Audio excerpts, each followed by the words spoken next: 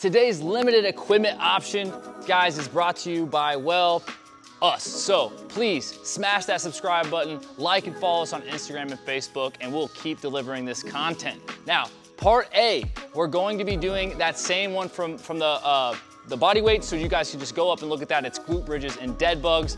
And then we have a nine minute AMRAP, which is gonna be a kettlebell or dumbbell deadlift. We'll be doing chair dips, and then it'll be 30 double unders each round, okay?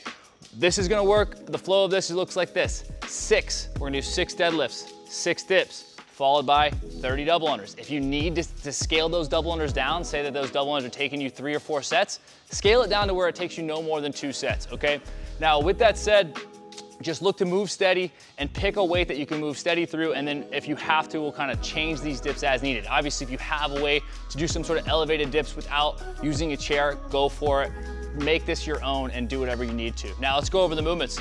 So again, the first move we're gonna go over is going to be that kettlebell deadlift. Okay, so we're drive, standing straight up, straight back down, keeping the hips high, touching the ground, locking it out at the top, okay? Next is gonna be that chair dip. Okay, so we're just gonna have the hands on the edge of the chair, all the way down, all the way up. Excellent, we can bring the knees in. Again, range of motion is key here. We see that the shoulder is getting down to as low as the elbow, and that's what we're looking for, okay?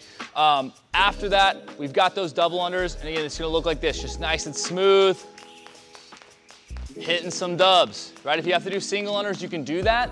And I would tell you, if you guys are working on double unders and you're always avoiding them, what better time to do them than now, right? So maybe on this workout, you try to just stay, string two or three double unders together and then continue doing single unders. That's a great way to start getting better at these, these uh, higher level movements as far as a double under. Um, no one else is watching, just you, right? So get after it, guys. If you guys have any questions, please reach out. We'll see you here next time.